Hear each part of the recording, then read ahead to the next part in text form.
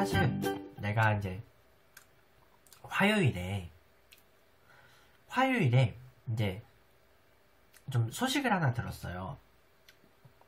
화요일에 그냥 또 어떤 친구의 임신 소식을 들었다? 근데 그 그날 그날 갑자기 그날 저녁에 어쩐지 내가 술이 먹고 싶어진 거야.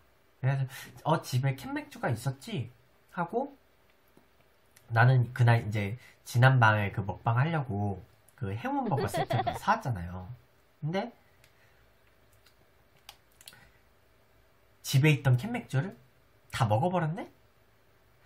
그래가지고 그 지난 밤에 술 못 먹었지? 그래서 오늘 밤도 사실 술 먹고 싶었는데 참았고 음 왠지 내일 판교 가면 또 막 술 생각 날 것 같긴 한데 이따가 판교 가면 술 생각 날 것 같긴 한데 그 그것도 참을 것 같고 어차피 난 토요일에 술 약속 있거든요. 그래가지고 토요일에 술 약속이 있는 관계로 일단은 참는 걸로. 토요일에 일단 술 약속이 있어서 일단은 참을 거예요. 맞다. 그리고 그래서 원래 토요일에 이제 새해 맞이 그 성당 청년들하고 저녁에 이제 한잔 하기로 했거든요. 그래가지고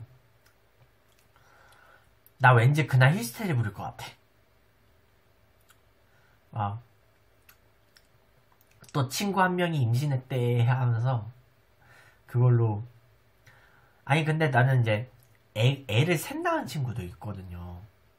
셋째 낳은 친구도 있어가지고 아 물론 그 셋째 낳은 친구는 그 친구의 아버님이 목사 담임 목사여가지고 아마 어차피 그냥 집안이 좀 어느 정도 그 그냥 집안 자체가 계속 왠지 그런 사랑을 실천할 것 같아서 그 사랑의 결실을 너무 많이 뿌려서 그런 것 같고. 그래서 이제 친구들 중에서 다산의 여왕으로 거듭났죠. 다산의 여왕으로 거듭난 친구가 있고 좀 이번 소식에는 되게 많이 술이 많이 당기는 거는. 음 그쵸. 아무래도 그런 내 개인적인 감 그런 좀 기분이 좀 있어가지고. 그래서 술이 좀 많이 땡겨요. 음, 그래서 토요일까지 일단 참고 있는데 나 토요일 어차피 동네에서 술 먹을 거 거든요. 그래가지고 나 그날 아 되게 어, 술자리에서 좀 폭발할 것 같아. 그러니까 그 내 주량이 그 초월할 것 같아요. 그러니까 평소 주량이 내가 소주 기준으로 반병에서 한병 사이거든요. 근데 내가 왠지 그 주량을 초월할 것 같은 기분이 드는 거예요 지금. 음, 그 주량을 초월할 것 같아서 미리 미리 공지할게요.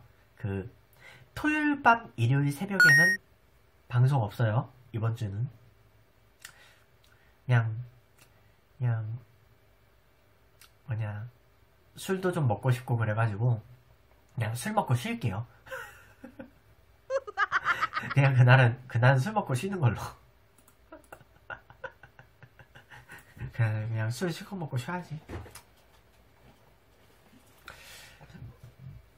몰라, 뭐, 이제 그 나름 나는 지금 약간 그런 슬픈 감정이 있기 때문에 그렇게 막 술 먹고 응?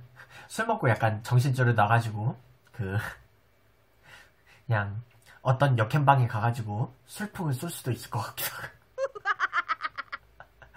막 역, 역행방 가서 막 술풍 쏘고 있는 거 아니야? 그거는 술풍이라고 하거든요 막 갑자기 평소에 막 이렇게 안 쏘는 사람이 어느 날 갑자기 막, 막 몇백 개씩 막 쏜다? 근데 그런 사람들 보면 가끔 채팅에 막 술, 그 술풍이라고 드러나는 사람이 있어. 막 술풍이라고 다면서 와 누구님 너무 이쁘다 오늘 너, 오늘따라 너무 이쁘다 고 하면서 막 계속 하여간 근데 근데 어차피 저는 경제 사정이 그렇게 술풍을 쏠 정도로 넉넉하진 않아요. 가끔 이제 그 좀 약간 의리상 좀 별풍을 좀 드려야 될 경우가 있어요. 의리상 팬가입을 해드려야 될 경우가. 그런 경우에는 한, 한 100개 선에서 좀 쏘지. 그렇게 다른 다른 방에 그런 그 열혈적인 그런 팬들처럼 그렇게 뭐 한 번에 막 수백 개 수천 개 그렇게 쏠 여력은 없어요 저는.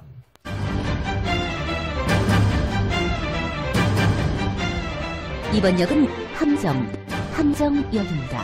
내리실 문은 없습니다. 수원, 천안 방면으로 가실 고객님께서는 이번 역에서 열차를 갈아타실 수 없습니다. This stop is 함정.